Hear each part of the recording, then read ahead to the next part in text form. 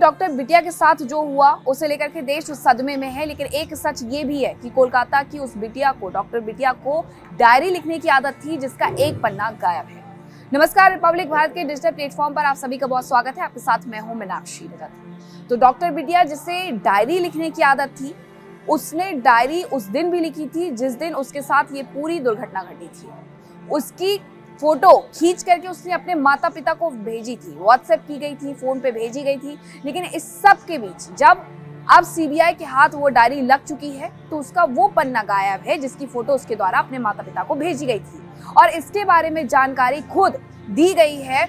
पीड़िता के जो पिता हैं, उनके द्वारा सीबीआई को कि मेरी बेटी ने मुझे घटना वाले दिन भी एक पन्ने की फ़ोटो भेजी थी और डायरी में वो पन्ना मिसिंग है। अब सवाल ये उठ रहे हैं कि आखिरकार वो पन्ना गया कहा लेकिन इस सब के बीच और भी कई खुलासे हो रहे हैं इस पूरे केस को, क्योंकि अब सीबीआई ने टेक ओवर कर लिया है। सीबीआई ने कहा है कि चार दिन से तो हम पूछताछ कर ही रहे हैं, जो पूर्व प्रिंसिपल है, संदीप घोष। लेकिन उसकी तरफ़ से कई ऐसे सच है जो छिपाए जा रहे हैं।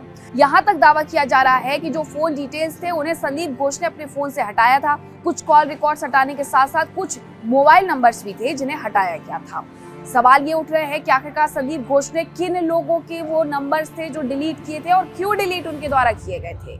इसी के साथ जो मुख्य आरोपी जिसे बनाया गया है, उसका नाम है संजय रॉय। अब संजय रॉय कौन है, इसके बारे में भी जानकारी जुटाई जा रही है, क्योंकि यहाँ पर सीबीआई के एक अधिकारी के द्वारा ये कहा गया है, ये बताया गया है कि इस पूरे मामले को सिर्फ़ एक व्यक्ति के द्वारा घटना को अंजाम नहीं दिया गया है, यानी कई ऐसे मुख्य किरदार है, जो अभी भी इस पूरे केस में नदारत नज़र आ रहे हैं और सीबीआई उन्हीं का पीछा करते करते चार दिन से पूछताछ संदीप घोष से कर रही है, पूर्व प्रिंसिपल से कर रही है, उनसे ये सवाल भी कर रही है कि आखिरकार जिस दिन ये घटना हुई थी, सेमिनार हॉल में जहाँ ये घटना हुई थी, उसे सिक्योर क्यों नहीं किया गया था?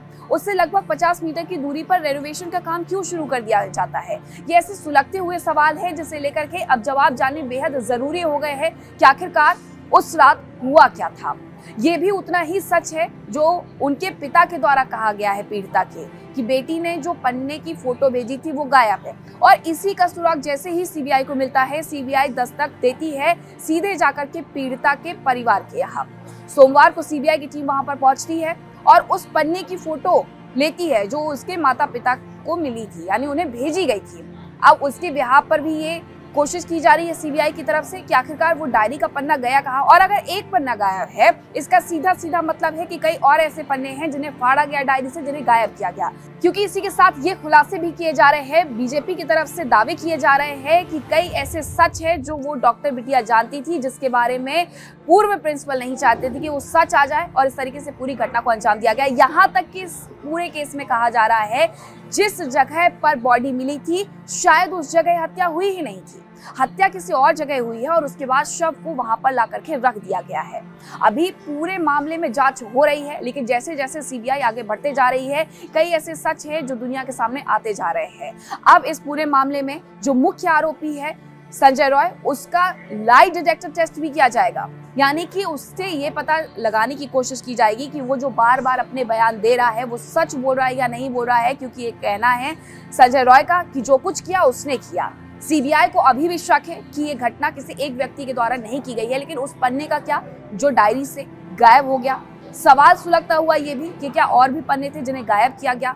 और गायब करने के पीछे की वजह क्या थी? सब सच सीबीआई सामने लेकर के आएगी ऐसी तमाम जानकारी के लिए देखते रहिए रिपब्लिक भारत का डिजिटल प्लेटफॉर्म फ़िलहाल मेरे साथ इतना